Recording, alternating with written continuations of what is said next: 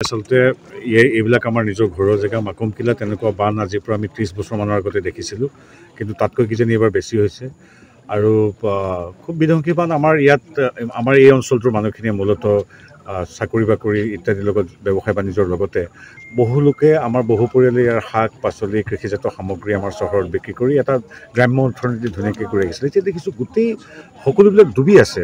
কঠীয়া দৰাৰ পৰা মানে গোটেই শাক পাচলি সকলোবিলাক ডুবি ধ্বংস হৈ গৈছে। আৰু একো ঘৰ মানুহৰ পোন্ধৰ ষোল্লটালৈকে গৰু উটি গৈছে। আমাৰ গতিকে একো অভাৱনীয় পৰিৱেশ কিন্তু এই মুহূৰ্তত এটা কথা ক'ব লাগিব যে সমগ্ৰ ৰাইজে আমাৰ মাৰ্ঘেৰিটাবাসী ৰাইজে ভাস্কৰ শৰ্মাদেৱৰ নেতৃত্বত জিলা প্ৰশাসনৰ সহযোগত আজি হাতে হাত ধৰি সকলোৱে কিন্তু বিপদ হোৱা মানুহখিনিৰ কাষত থিয় হৈছে। আনকি সাংবাদিকসকল আপোনালোকে দেখিছোঁ যে সংবাদ গ্ৰহণ কৰাৰ লগতে মানুহখিনিকো সহায় কৰিব আগবাঢ়িছে। এইটোৱে হ'ল আমাৰ এটা খুব মানে মন চুই যোৱা কথা। কিন্তু মনটো বেয়া লাগিছে কাৰণ এইখিনি আমাৰ নিজৰ ঘৰৰ ঠাই। ইয়াত ইমান খুব দুখজনক পৰিৱেশ। এতিয়া সন্মানীয় বিধায়ক মহোদয় ভাস্কৰ সমাধানে এটা ভাল কথা কৈছে যে এতিয়া আমাৰ প্ৰথম কৰ্তব্যটো হ'ল পানী শুকোৱাৰ লগে লগে স্বাস্থ্যজনিত কামখিনি ঘৰ দুৱাৰবিলাক মেৰামতি কৰা আৰু সেইবিলাকৰ বাবে সকলো যাতে চৰকাৰী সাহাৰ্য পায় সেইখিনিৰ বাবে চিন্তা চৰ্চা ইতিমধ্যেই ভাস্কৰ সমাজ তথা আমাৰ স্থানীয় ৰাইজে বা আমাৰ সংশ্লিষ্ট মহলে কৰিছে প্ৰশাসনেও আগবাঢ়ি আহিছে।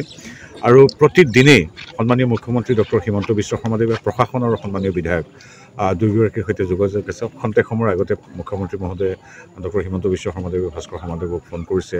প্ৰতিদিনে প্ৰ- প্ৰতি মানে খবৰ লৈ আছে আৰু যিমান পাৰি সহায় কৰি আছে। আমাৰ যিখিনি ৰচদ পাতি লাগে সেইখিনি বাৰু উভৈনদী সেইখিনিলৈ কথা নাই। আৰু যাতে কাৰোবাৰ অসুখ বিসুখ হ'লেও তাৎক্ষণিকভাৱে আৰু যাতে চিকিৎসা প্ৰদান কৰিব পাৰে তাৰ ব্যৱস্থাও কৰিছে আমাৰ স্থানীয় প্ৰশাসনে আমাৰ শ্ৰীযুত ভাস্কৰ শৰ্মাদেৱৰ আহ, তৎপৰতাত। গতিকে সেইখিনি ঠিকে আছে কিন্তু এটা খুব দুখজনক কথা নিজৰ আপোন ঘৰখন ভাঙি গৈছে। এতিয়াও দেখিছোঁ ঘৰ দুৱাৰ ডুব গৈ আছে। নিজৰ গোটেই কৃষি কৰ্ম ফচল সম্পূৰ্ণৰূপে বিনষ্ট হৈছে। গতিকে এতিয়া বেলেগ কথা নাই আৰু এই ইয়াৰ পিছত কেনেকৈ কেনেকৈ আগবাঢ়িব পাৰি আমি সকলো মানুহে হাতে হাত ধৰি সেইখিনি চিন্তা কৰিছোঁ। আমি এনেধৰণৰ বান ত্ৰিছ বছৰ বিগত দেখা নাই। আৰু প্ৰকৃতিৰ কথা চৰকাৰে স্থানীয় ৰাইজে বান বানে যাক আক্ৰান্ত কৰা নাই তেনে মানুহখিনি হয়তো ওলাই আহিছে। এতিয়া প্ৰকৃতিৰ কথা কি ক'ম? আমাৰ নিজৰ কৰ্তব্যখিনি এতিয়া আমি ৰাজ্য তথা কেন্দ্ৰ চৰকাৰে কি ধৰণৰ ব্যৱস্থা গ্ৰহণ কৰিব?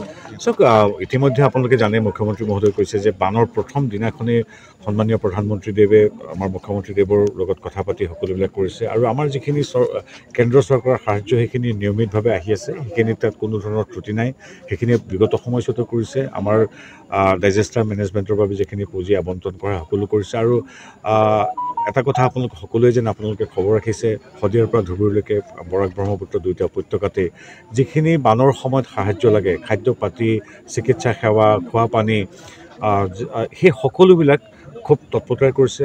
মুখ্যমন্ত্ৰী মহোদয়ে নিজেই বানাক্ৰান্ত ৰাইজৰ মাজত থিয় দিছে। তেওঁ দিনে সোতৰ ওঠৰ ঘণ্টাকৈ কাম কৰিছে। তদ্ৰূপ বিধায়কসকলৰ পৰা মন্ত্ৰীসকলকে আমাক সকলোকে নিৰ্দেশ দিছে। আৰু এটা কথা মই ক'বই লাগিব যে মই যিটো দলৰ সদস্য ভাস্কৰ শৰ্মা যিটো দলৰ সদস্য ভাৰতীয় জনতা পাৰ্টী আমাৰ দলৰ নেতৃত্বৰ পৰা নিৰ্দেশ আহিছে প্ৰত্যেক কাৰ্যকৰ্তাই যাতে যৎপৰ নাস্তি সহায় কৰে। আৰু আজি মাৰ্ঘেৰিটাতো দেখিছোঁ ডিঙিলৈকে ডুব গৈও আমাৰ বিজেপিৰ কাৰ্যকৰ্তাসকলে বা বিজেপিৰ সৈতে শুভাকাংক্ষীসকলে বা ৰাজনীতিৰ সৈতে জড়িত নোহোৱাসকলেও এনেকৈ ইমান এবুকু পানীৰ মাজত ৰচদ পাতি লৈ দুখীয়া আমাৰ যিখিনি মানে আক্ৰান্ত মানুহ তেওঁলোকৰ কাষলৈ গৈছে। এইখিনি কাম চৰকাৰ সদায় লগত আছে আৰু যিখিনি এম্বেংকমেণ্ট বা মথাউৰি নিৰ্মাণ সেই বিষয়ে পীযুষ হাজৰিকা ডাঙৰীয়াই ইতিমধ্যে আনুষ্ঠানিকভাৱে ঘোষণা কৰিছে। অলপ পানী কমাৰ লগে লগে সকলোবিলাক মেৰামতি কৰা হ'ব।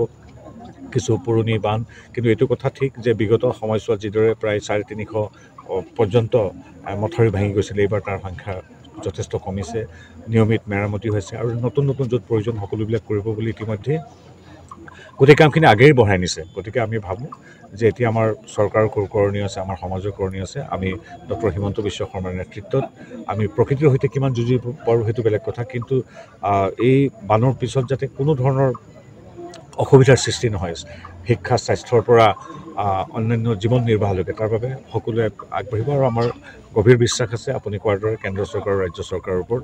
আমি ভাবোঁ তেখেতসকলৰ নিৰ্দেশ সহযোগিতাত আমাৰ স্থানীয় বিধায়ক মন্ত্ৰীসকল স্থানীয় ৰাইজৰ সহযোগত আমি পৰৱৰ্তী যিখিনি আমাৰ অসুবিধা আহিব সেইখিনি আমি মুখামুখি হ'বলৈ সক্ষম হ'ম।